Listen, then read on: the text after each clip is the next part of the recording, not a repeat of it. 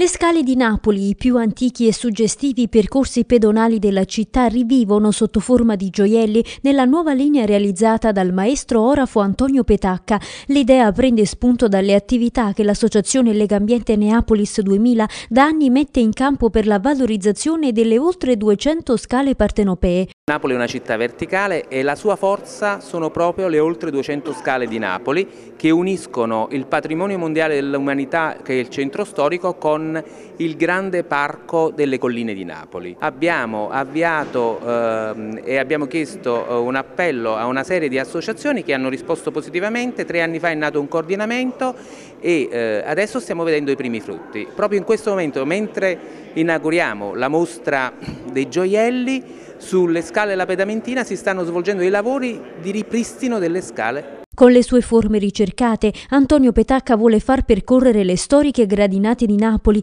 e lo fa realizzando gioielli unici, pendenti e orecchini che prendono il nome delle più belle scale della nostra città, la Pedamentina, il Moiariello, Monte Santo, la Principessa Yolanda. Hanno forme diverse, dimensioni diverse e si rifanno, anche se in modo aleatorio,